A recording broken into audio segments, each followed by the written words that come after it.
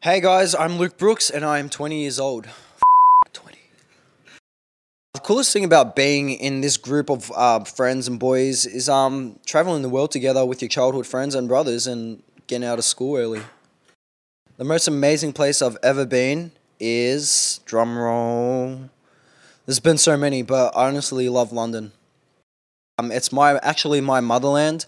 Australia was settled by English convicts, so um, it's good to come back to your original roots. Somehow that relates to me, and yeah, it's just crazy.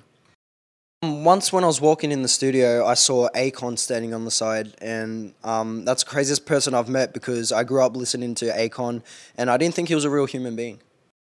The strangest thing a fan has ever said to me, and it, they never stop saying this. Um, can I have your baby? To me, that's just strange because uh, because I'd love to have your baby, but uh, not right now because I'm a bit busy. My favorite prank that I've ever been involved in is something I didn't um, organize. It's uh, the DEA drug bust. I think half of the whole world has seen that. I think that's where I'm more known off than the Janoskians. Uh, Vitaly released a prank, came into our house pretending he was with a bunch of DEA agents, and I thought it was that day when they pulled out the uh, like kilo of marijuana and like pound of cocaine. Excuse the language, I just don't want to think about it. My best celebrity impression is probably um, I used to work at a bakery. Um, um, that's Harry Styles.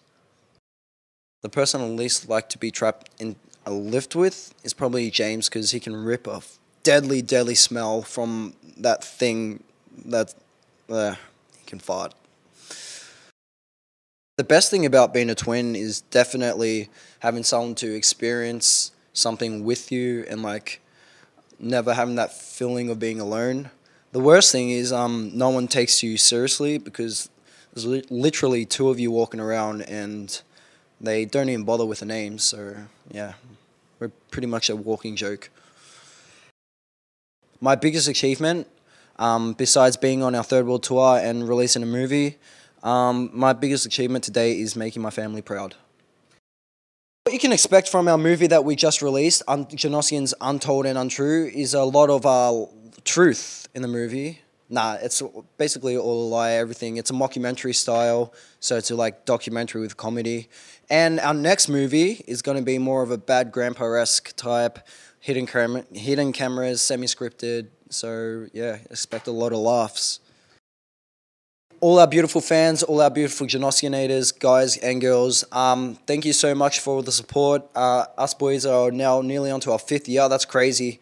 And it's all because of you guys. So thanks for giving us the chance to always come to your countries, keep making videos. And um, as long as you love us, we'll love you. Actually, we'll love you longer than you love us.